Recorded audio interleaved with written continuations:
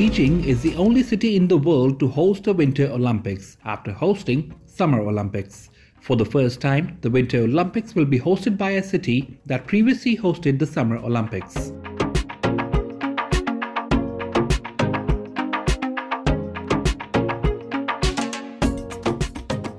All preparations have been completed for the Winter Olympics 2022 in a city that hosted the Summer Olympics 2018.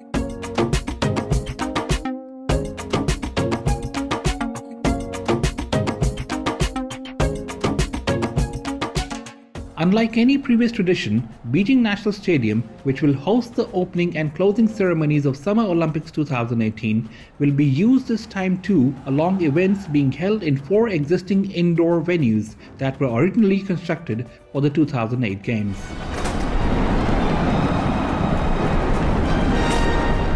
This is the fourth uh, Winter Games in which Pakistan is participating and Pakistan is very actively participate in these games. China से भी request करते हैं कि इसमें वो आएँ और अपनी expertise जो है हमारे साथ share करें ताकि हमारे future के जो winter games हैं उनमें हम actively participate कर सकें.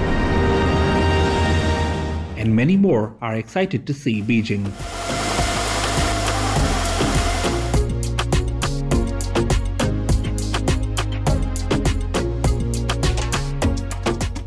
For the first time, a country that is known for its sizzling weather is sending a team to participate in the Winter Olympics. Saudi Arabia, never known for any winter sports and has never participated at an Olympic Winter Games. But in February 2022, a small team of skiers and snowboarders will carry the Saudi flag at the opening ceremony of the Beijing 2022 Olympic Winter Games.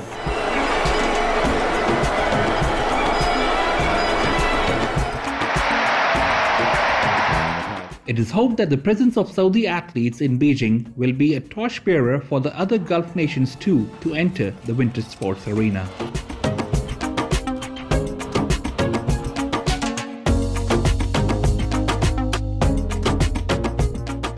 The next door neighbor, Iran, is an active participant in winter sports, mainly thanks to its natural advantage of its geography and its contingent in Beijing 2022 also includes a female skiing competitor.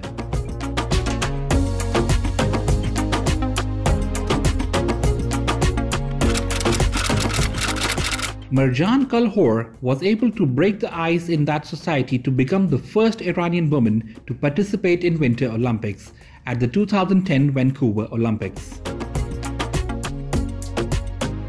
But the most active player in the winter sports among the Muslim world is Turkey, with a long history of participation in the Winter Olympics followed by Lebanon. Of course, uh, there will be a huge impact in winter sports. It's coming from experience, in fact. There are lots of athletes competing in winter sports, like we have a curling team now, uh, we have a ski jumper, we have a speed skater. Nobody ever heard of those sports. Now we have athletes who's competing in them. Uh, there are youngsters who are doing those sports. Uh, so it's an it's a really important example for Turkey and for any country who is hosting those kinds of uh, tournaments.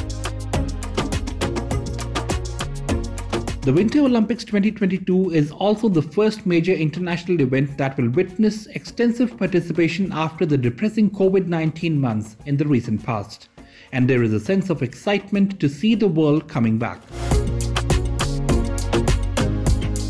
And it can help promote winter sports in the region in the long run. Sadly, the Beijing Winter Olympics will not be able to promote uh, winter sports or winter games, especially for Southeast Asian nations, and it's due to various reasons. Now, firstly, most athletes uh, representing Southeast Asia are actually based abroad uh, due to lack of facilities in their home nation, and because of this, uh, there will be a sense of uh, the, the lack the lacking in a sense of attachment towards the athletes and the sports. And these are just some of the very few factors that will dampen any attempts to popularize or even promote uh, winter sports, especially in this region.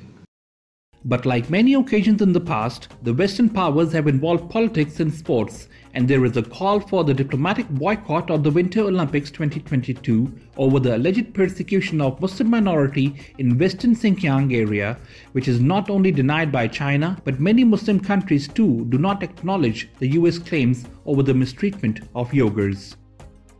On China, they use the Xinjiang card, the Tibet card, Hong Kong issue. So these are all based on double standards.